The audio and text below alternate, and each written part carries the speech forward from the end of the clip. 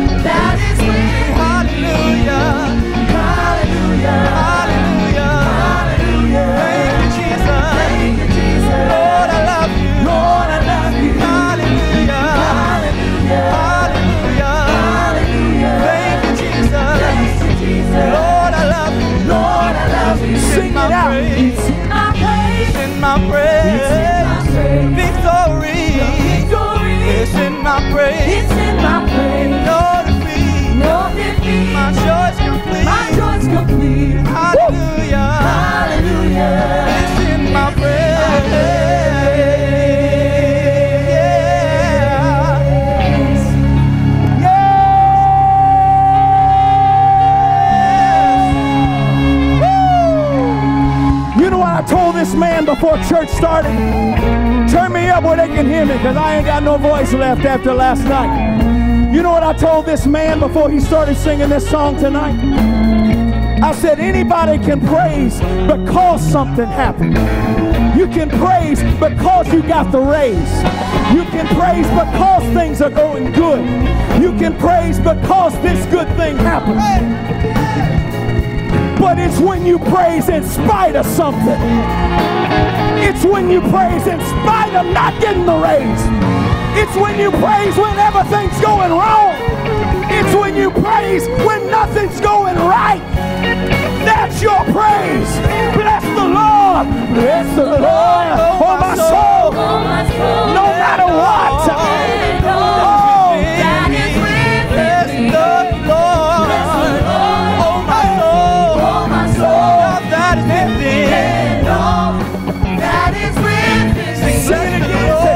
bless the Lord, oh my soul, oh my soul, and all that is. Hey, that is within bless, bless, Lord, bless the Lord, oh my soul, oh my soul, and all that is within. me, all that is within. Bless you sing. Bless the Lord, oh my soul, and all that is within, that is within me. me. Bless the Lord, bless sin. And no, that is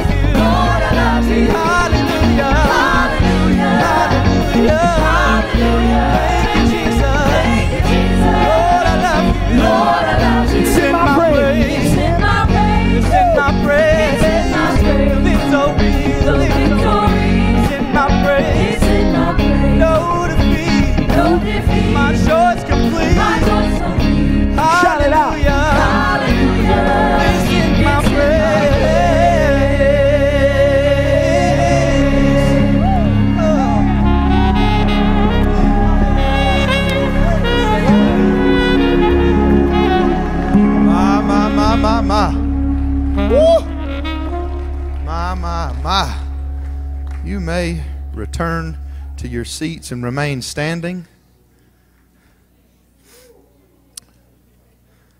Jesus. If it feels good, say amen. Ooh. While you're in that feeling good vein, if it feels so good, just reach right around and prepare your pocketbook.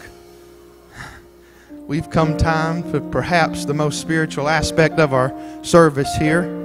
Why don't we just stretch our hands toward this need? God, you know all things. Have your way, Lord. Do what only you can do. In the name of Jesus, God. We believe you, Lord. We trust you, God. In Jesus' name. Oh, in Jesus' name. Hallelujah. If I could get some ushers to come help me tonight. Look at, boy, they was ready. We opened the gate and they came running. We want to give you an opportunity to be blessed. How many of you have been enjoying Pastor's series on More Than Enough? I was sharing some things with somebody I work with today, as a matter of fact, and I said, You know, the world has such a twisted view on their finances. And I said, Man, if you want to know how God intended for finances to be, you ought to tune in to what our pastor's been teaching on Tuesday nights the last few weeks, because my Lord, that's a revelation the world needs to get a hold of. You hear me? We want to give you an opportunity to be blessed. Prepare your tithes and offering. Let's pray over this in Jesus' name. God, we love you, Lord, and we ask you to bless this tithe and the offering. God, bless the gift and the giver alike. In Jesus' name, you may bring your tithes and offering at this time and worship with Sister Nile as she sings.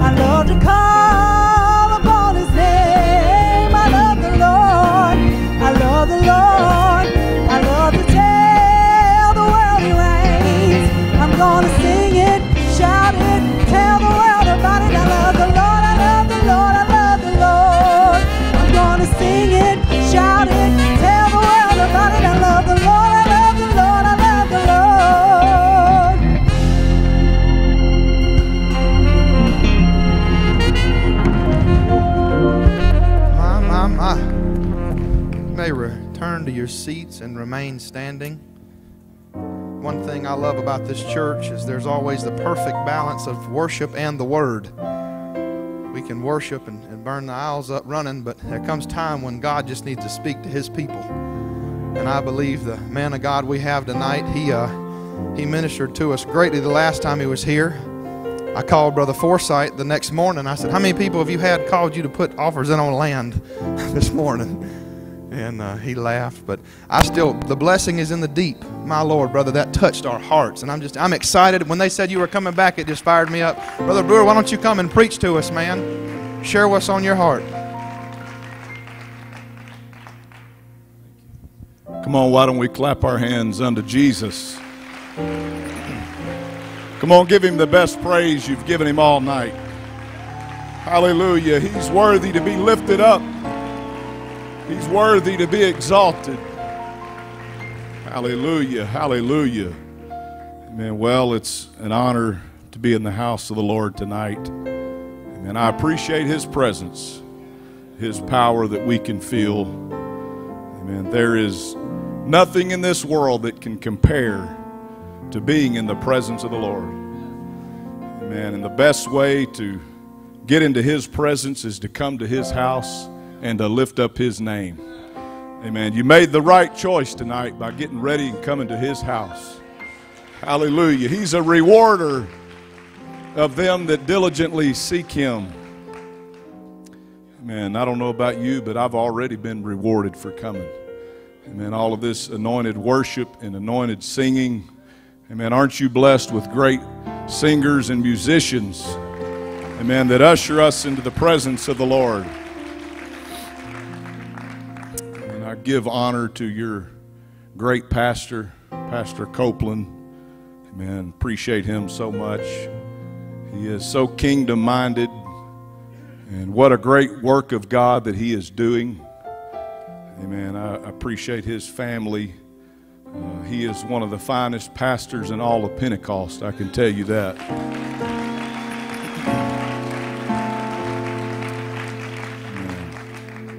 A very talented and anointed man of God. When I think of him, I think of the one that received the five talents. And then he took those talents and he multiplied them many times over. Man, I appreciate him, him entrusting me to stand before you tonight, and I don't take it lightly. Amen. Thank you to Sister Copeland for the wonderful basket. Amen. Thank you to Brother Matt and Brother Dylan for your kindness. Don't we appreciate the entire Copeland family?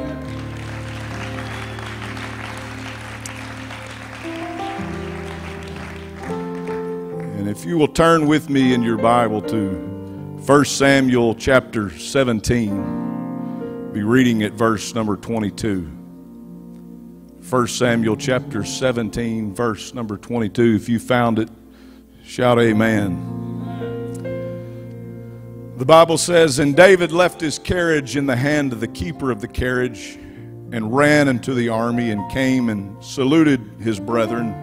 And as he talked with them, behold, there came up the champion, the Philistine of Gath, Goliath by name, out of the armies of the Philistines, and spake according to the same words.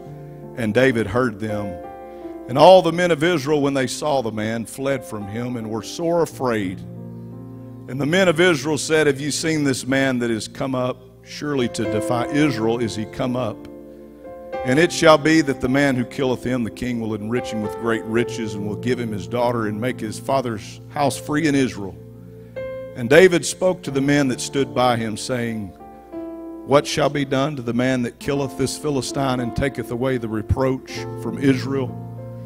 For who is this uncircumcised Philistine that he should defy the armies of the living God? And the people answered him after this manner, saying, So shall it be done to the man that killeth him. And Eliab, his eldest brother, heard when he spake unto the men, and Eliab's anger was kindled against David, and he said, Why comest thou down hither? And with whom hast thou left those few sheep in the wilderness? I know thy pride and the naughtiness of thine heart. For thou art come down that thou mightest see the battle. And David said, What have I now done? Is there not a cause? Is there not a cause? Amen. And with the help of the Holy Ghost and with your help here tonight, I want to preach to you from this thought Is there not a cause? Amen. I'm here to tell you we've got the greatest cause in all of the world. Amen. This truth is worth fighting for, this is worth defending. Amen. If it's appropriate, you find someone standing next to you and join together. Let's have a prayer meeting. Amen. Asking the Holy Ghost to have his way. Can you do that? Amen. Let's pray together. Lord, we need you, God.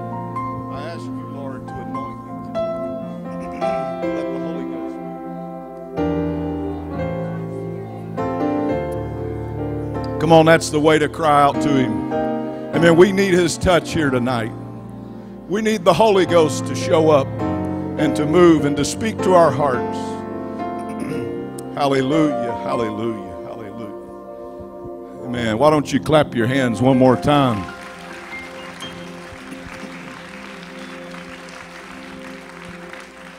Man, you may be seated. You know, life is really just one big battlefield. And everything about life is a fight and a struggle. And so, if we got problems tonight, if we are going through trials and situations, uh, we don't need to be discouraged and we don't need to be disheartened. Amen. It's just a part of living life. I mean, you don't have to feel like the one sitting across from you never has any problems. Let me just tell you, everybody's got their fair share of problems. Amen. The Bible tells us a man that is born of a woman is of few days and full of trouble. Amen. And it's just part of living life to go through things and to have problems. When you get up in the morning and you go to your job, you'll be doing your part to engage in the battle of life. You'll be doing your part to fend off or to fight off poverty that wants to come in and take every possession that you have. When you go to work, you're keeping the mortgage company from coming and repossessing your home. You're keeping the landlord from giving you an eviction notice. You're keeping your lights burning. You're keeping the water on. I mean, you're keeping the gas on. You're putting food on the table for your children. And just because you get tired of the battle and you get tired of the routine, so you decide you want to take a few days off. I mean, guess what never takes a few days off? Is the bills and the problems and the struggles of life. Amen. If you're going to have prosperity, you must learn to constantly stay engaged in the battle against poverty. I mean, this is just a principle of life. The same would apply to a beautifully landscaped yard.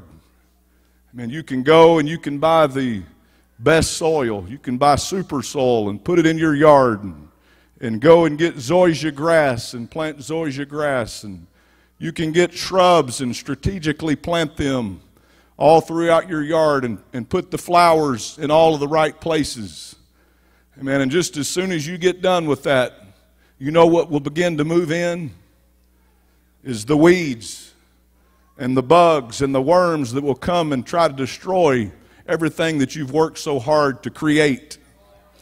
Well, can I get an amen? We got anybody ever had to pick any weeds out of their flower bed? Man, isn't it amazing that you don't have to do anything to get the weeds to grow? Amen. They'll just grow up and take over. And it's the same if you were going to have a vegetable garden. And you can plant all the, the right plants and, and get them in a perfect straight row. Amen. And the weeds will come in and try to choke it out. And we live tonight, and thank God for it, we live in the freest nation in all of the world, the United States of America. Amen. Thank God for it. But I can tell you, Although we're free tonight, I can assure you that tyranny is never very far away. I mean, the very moment that we fail to go on offense against threats, the very moment that we quit defending this country is the very moment that tyranny will come in and steal away our great freedom. Amen. And thank God for our freedoms that we enjoy, mainly the freedom to assemble together and worship Almighty God.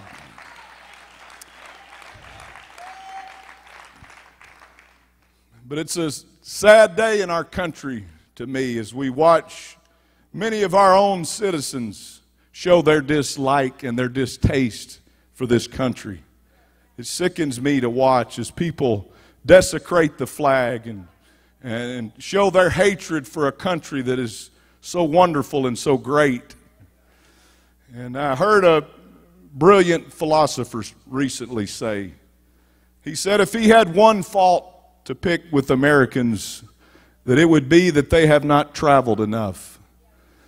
Meaning they hadn't went outside of the continental United States enough. Because if you went to a few other countries, you'd quickly get an education and a, a revelation of just how blessed we are here in America. Amen. And let me just tell you, you're blessed to be in this local church. I mean, it's not every church that has a move of God. It's not every church that has a pastor that'll stand for truth. I mean, it's not every church that's a praying church. Uh, your, your leadership eats, sleeps, and breathes this church. You're a very best, blessed people. I mean, if you're thankful for your leadership, why don't you clap your hands unto the Lord?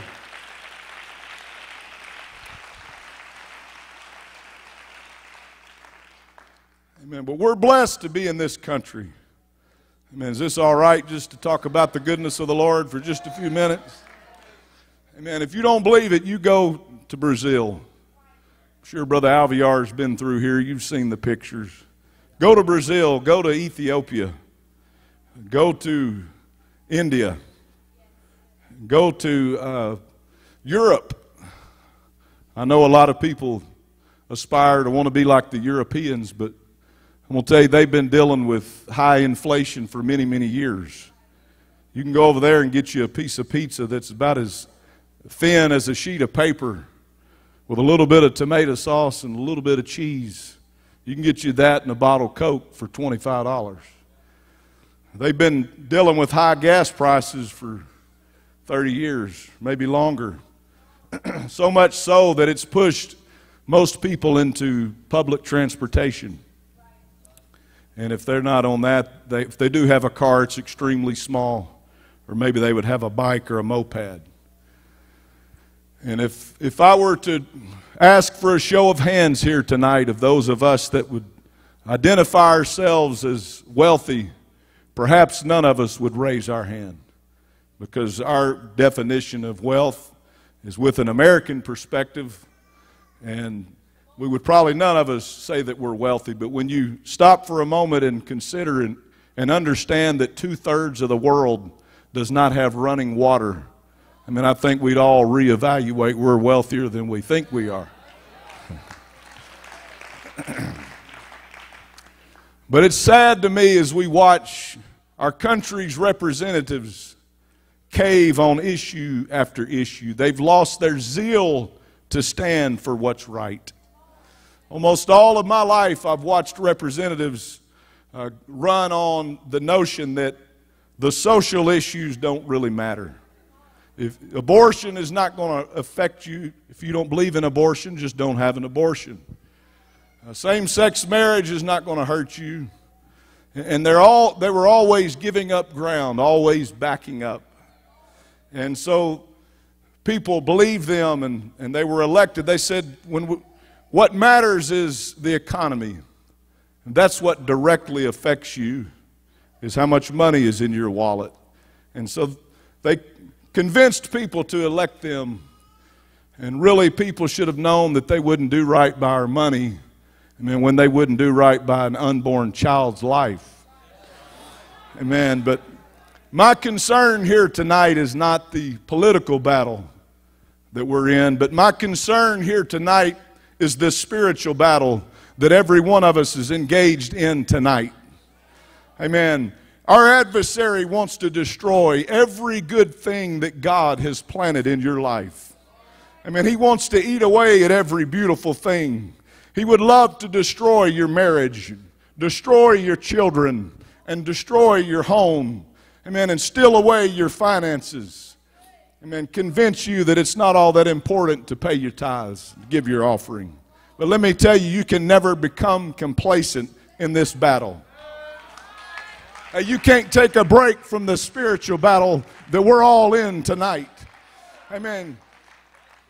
You can't let the enemy set the rules of engagement. Amen. But you've got to roll up your sleeves and you've got to become engaged in the battle. And we see this with Saul and the men of Israel as they're set in battle against the Philistines. And this so called champion named Goliath comes up for the 40th time, putting fear in the hearts of God's people. And the Bible says that Saul was greatly afraid. Think about that. The most powerful military to ever exist is shaking in their boots with fear, intimidated by this giant. And no military had ever seen the great victories that they had seen. No military had ever seen the Red Sea roll back and the Jordan River roll back and the Jericho walls fall flat. Amen. And so we see where Jesse sends David to check on his brothers and bring them some provisions. And while he's there again, Goliath comes up, amen, and antagonizing God's people. And David hears this giant. And while he's standing there, there's some men gathered together, and they're telling of the reward for killing this giant. And as David hears what the reward is, must have sounded too good to be true, he had them repeat it. He said, What, what again is that reward for killing the giant? So, well, if you kill this giant, you're going to get to marry the king's daughter. He's going to make your house free in Israel. You won't have to pay any taxes. And he'll enrich you with great riches. Amen. I just believe that something began to stir up in the heart of David. I mean, I know we live in a world and in a society that teaches people, amen, that you don't have to slay the giant to get the reward. But let me just tell you, in the real world, if you're going to receive the reward, you got to be willing to face the giant. Amen. You got to be willing to face down the enemy. Amen. I know that we live in a different day now, and they teach differently that everybody should get the reward. But, but that's not the way that it really is. I mean, you, you got to be willing to face the giant. And you don't need to let anybody make you feel guilty for wanting the reward for killing the giant. Hey, if you kill the giant, you ought to get the reward. Hallelujah. Clap your hands unto the Lord. This may have been David's first big financial breakover. I'm sure it was. Think about how far ahead you could get in life if you didn't have to pay any taxes. Amen. But David is there and he says, Who is this uncircumcised Philistine that defies the armies of the living God? I wish that could get in everybody's spirit in this house. Amen. Stop just sitting back and letting the devil have his way. But something ought to rise up in our spirit. Says, Who is this uncircumcised Philistine? Hey, we are the people of God. God is for us. Who can be against us? Hallelujah. And the Bible tells us that Eliab, his older brother, began to mock his faith. And isn't it amazing that every time you start to do something for the Lord, there's always somebody that wants to come around and criticize and demean you. Amen. There's always somebody to criticize your faith. And Eliab begins to ask him, Why are you even here? And where are your few sheep? I know the naughtiness of your heart. I know about your past, David. I know about some of your failures and faults. Amen. But David answered him and said, What have I done? Amen. And he posed this question to him Is there not a cause? Amen. Let me tell you, we got something that's worth fighting for. Hey, we've got a great cause. Our families are worth fighting for. Our children are worth fighting for. Hey, this community's worth fighting for. Amen. There's still people that need to receive the infilling of the Holy Ghost. There's still people that need to be baptized in Jesus' name and set free from sin. Hey, we've got a great cause. This is something worth fighting for. Hey, revival's worth fighting for. I hope you get a fight in your spirit before this night's over. Revival's worth fighting for. Hey, why are you going to church again? Because we've got a cause. Why are you fasting again? Because we've got a great cause. Why are you going to prayer meeting again? Because we've got a great cause. Why are you paying your tithes again? Because we've got a great cause. Hallelujah. I don't feel like letting the devil ravage my home and have his way in my family, but I feel like pushing back against the devil. I feel like going toe to toe with the enemy. I feel like going to another red hot prayer meeting. Hallelujah. Hey, I'm not going to always be on defense. I think it's time that God's people go on offense, that we take some new territory from the devil. Well, if you believe that, clap your hands unto the Lord. Hallelujah, hallelujah.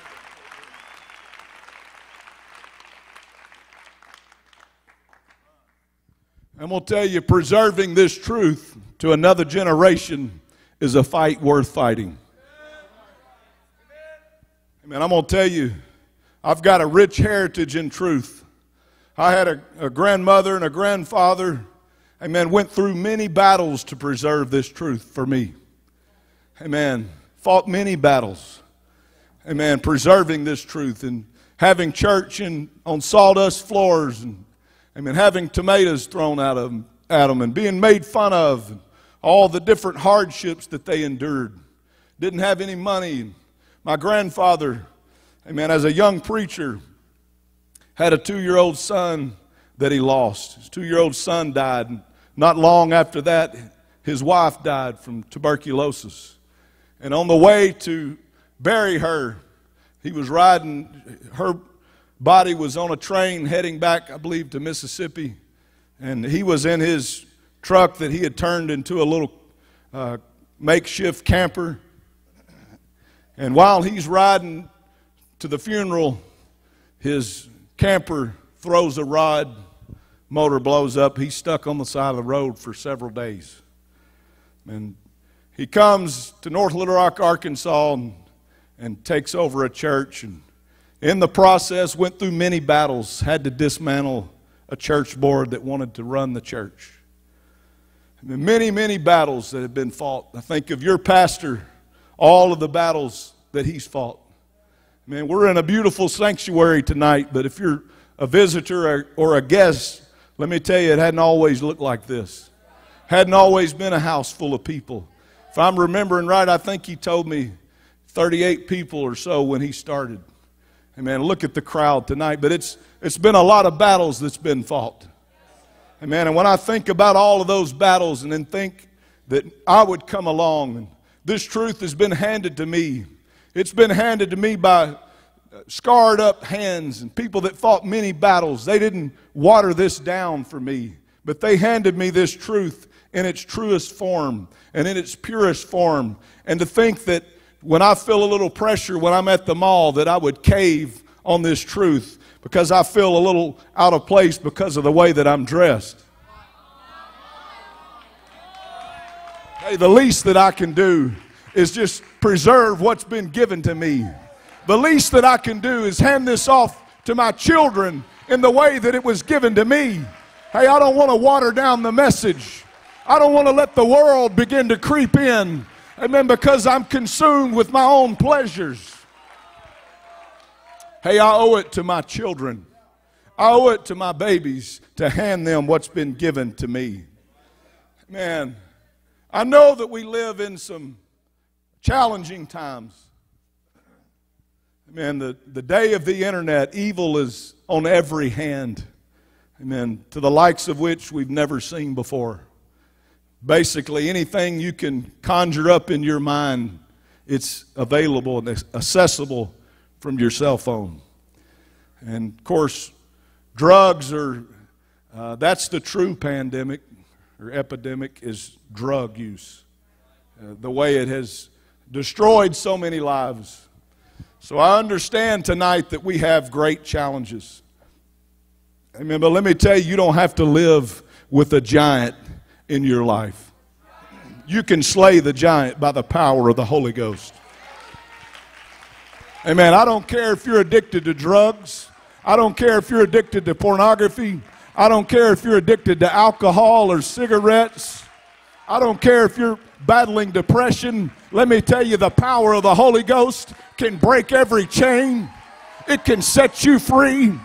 Hey, let me tell you, the deliverer is in the house tonight to set free the captive. Hallelujah, hallelujah. Amen. I remember one day I was having a conversation with some brothers. And as we were talking, we began to talk about people that we knew that were so bound on hardcore drugs like meth, crystal meth and fentanyl and all these things. We began to talk about that, how you could, you, you could understand, you could see that they wanted to be free. They wanted to be set free from uh, these chains of sin that had them bound, but it just seemed like whatever they tried to do, they could not get free. And as we were talking, one of the men said, You know what? I can't think of one person that ever got off drugs and stayed off drugs. Which I couldn't really believe that he would even say that because I knew several people. But, but it did bother me, it did burden me to see, to see so many people that they want to be free from sin, but they, they just can't get free. And so I left that conversation and went to the church and, and was praying and praying with this burden. And as I was praying, I began to ask the Lord, why does it seem like there's people that truly want to be free from sin, but they, they just can't get free? They just can't break the chains. And as I was praying, I feel like the Lord quickened back to me. It's a very simple thought, but I believe it was the Holy Ghost that quickened back to me and said, I've, I've got deliverance for them. but it's one day at a time deliverance. See, what we want is we want to walk down to this front. We want Pastor Copeland to lay his hand on our head. And after he prays for us, we become angelic and we never want to do anything wrong again. I mean, we never are tempted again. We never have another battle again. We never struggle with our flesh again. Amen. But let me tell you, as long as you're in this flesh, you're going to have to battle the flesh. So let me tell you what you do is you get that day by day victory. You know how you get day by day victory? Is tomorrow morning when you wake up, I mean, you come by this church and you pray until you pray in the Holy Ghost, until the Holy Ghost begins to speak through you. Amen. And you know what you'll have? You'll have victory for Monday. But you know what you'll have to do on Tuesday? Tuesday, you'll have to do it all over again. You'll have to come to this house, amen, and pray till you pray in the Holy Ghost. Hallelujah, hallelujah. Hey, the power of the Holy Ghost can break every chain. I mean, you just got to make it a point every day of my life. I'm going to pray till I pray in the Holy Ghost. Amen. My bishop always says this. He says, You can't smoke a cigarette and talk in tongues at the same time. Hey, you get full enough of this Holy Ghost, I don't care what you're battling. Amen. you'll be able to win the battle. The, the Holy Ghost will deliver you. Amen. The chain breaker's in the house tonight. Clap your hands unto the Lord. Hallelujah, hallelujah. Amen. You know what you got to do? You got to make up your mind. I'm going to tell you, there's power in a made up mind. Amen. You are to leave this house. If you hadn't made your mind up tonight, you are to leave here with a made up mind. Amen. The Bible tells us, Daniel, the first chapter and the eighth verse says, But Daniel purposed in his heart that he would not defile himself with the portion of the king's meat, nor with the wine which he drank. Therefore, he requested of the prince of the eunuchs that he might not defile himself. Amen. Young people, you need to make up your mind. I'm not going to defile myself. Amen. With the pleasures of this world. Amen. You read that over in another translation. It says it this way it says, But Daniel made up his mind. Hey, somebody needs to make up their mind. Hey, I'm not going to defile myself. I'm going to stay pure before the Lord. Hallelujah. Amen. It, it matters how we see ourselves. Amen. It matters how we see ourselves. The Bible tells us in Numbers, the 13th chapter, this is where Moses has sent spies to spy out the land of Canaan. And listen to the report that's brought back. Numbers chapter 13, verse number 26 says, And they went and came to Moses and to Aaron and to all the congregation of the children of Israel unto the wilderness of Paran to Kadesh, and brought back word unto them, and showed them the fruit of the land. And they told him and said, We came into the land whither thou sentest us, and surely it floweth with milk and honey. And this is the fruit of it. Listen to their report. It says, Nevertheless, the people be strong that dwell in the land. And the cities are walled and very great. And moreover, we saw the children of Anak there. The Amalekites dwell in the land of the south, and the Hittites, and the Jebusites and the Amorites dwell in the mountains, and the Canaanites dwell by the sea and by the coast of Jordan. Amen. And Caleb, the Bible says he stilled the people. He said, Hang on just a minute. Amen. We need some, somebody to get a spirit of Caleb in this house. Caleb stilled the people before Moses and said, Let us go up at once. Amen. For the land, for the people that we see, inhabitants thereof are the saw it are great stature. And we saw the giants, the sons of Anak, which come of the giants, and we were in our own sight as grasshoppers, and so we were in their sight. I mean, you see the report that is brought back from these men. This, the Bible called it an evil report.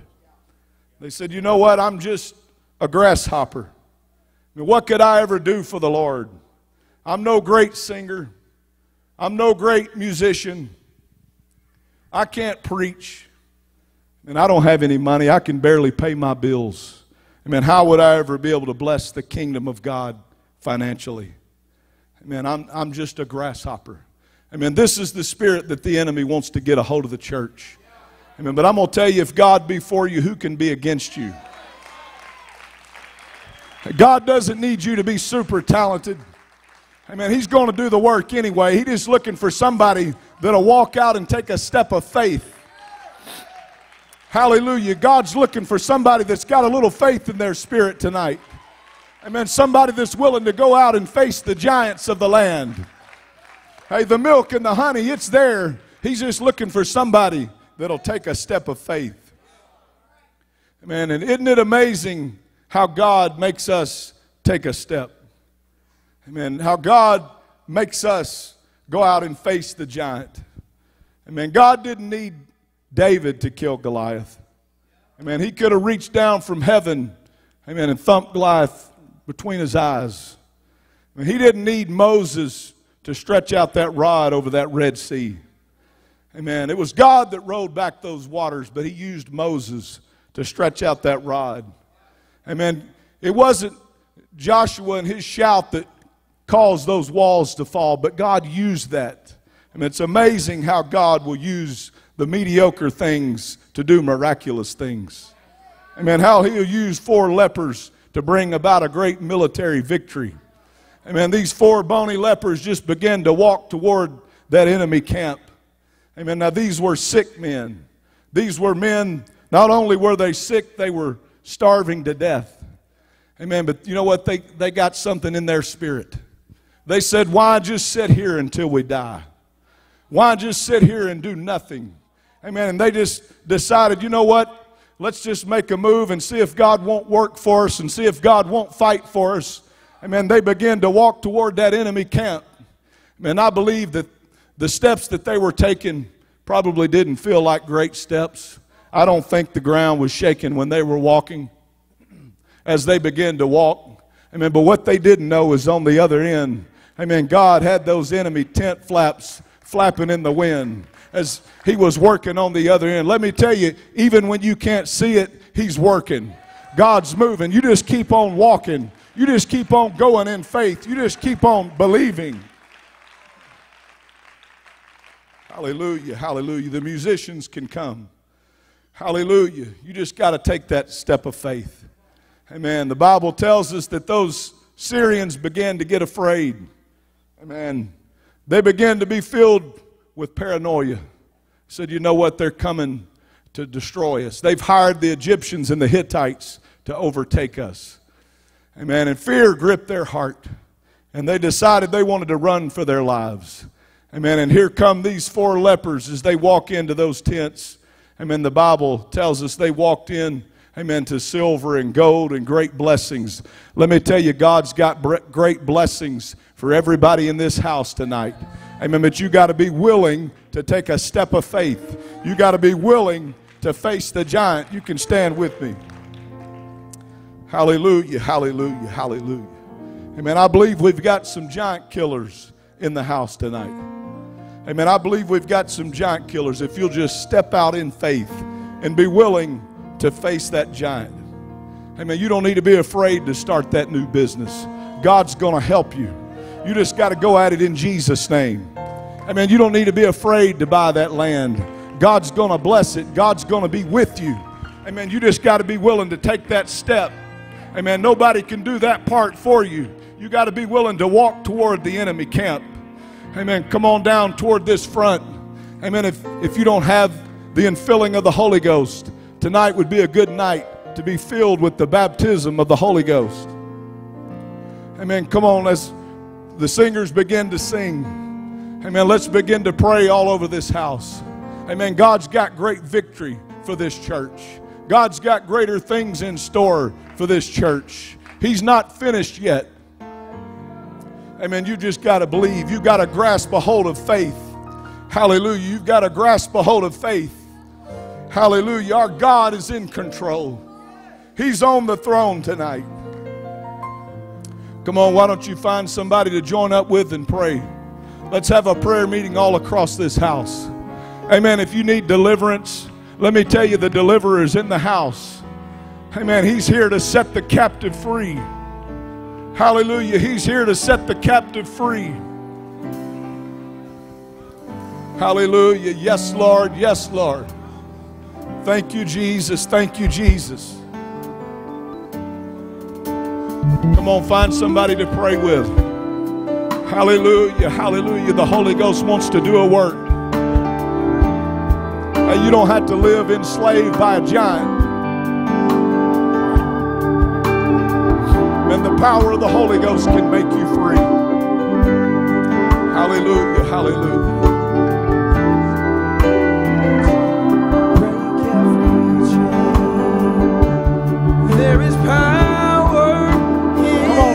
Power in the name of Jesus.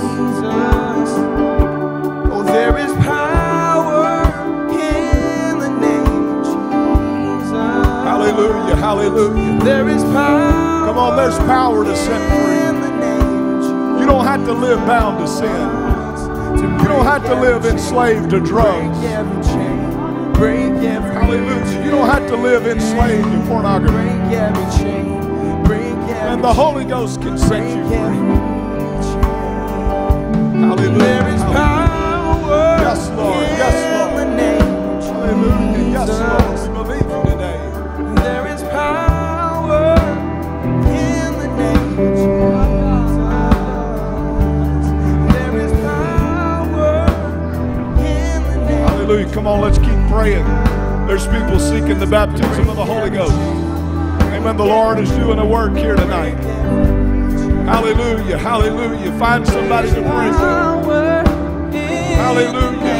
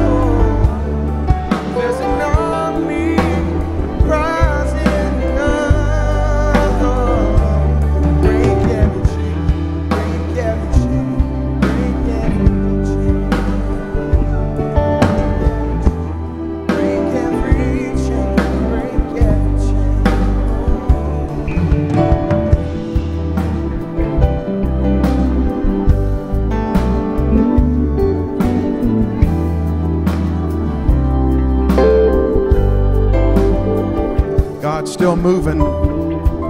I believe God sent this man to preach this word to us tonight. And I'm telling you, it's it stirred something inside of me. Last night, he, he was talking about taking territory. And I believe that for a long time in this part of this area, Neshoba County over in this way, I believe that the church at large has begun to take territory. And I'll tell you what, I believe a piece of territory was claimed over at East Central Community College last night. And I'm telling you right now, I believe with every fiber of my being that we haven't seen the last of that. We're about to see miracles, signs, and wonders come from what happened and what's begun out of this church. Let's push, let's ask God one final time. Let's give God everything we have. I believe there's some things that have got to break, some chains that will be taken off of some situations tonight. There's deliverance in this room, there's healing in this room. Why don't we press one more time? There are needs all over this house. Why don't we press one more time? Let's take some spiritual territory in this place tonight. Let God have His way. In the name of Jesus. There's an army rising up. There's an army rising up to break every chain, break every chain, break every chain, break every chain, break every chain, break every chain.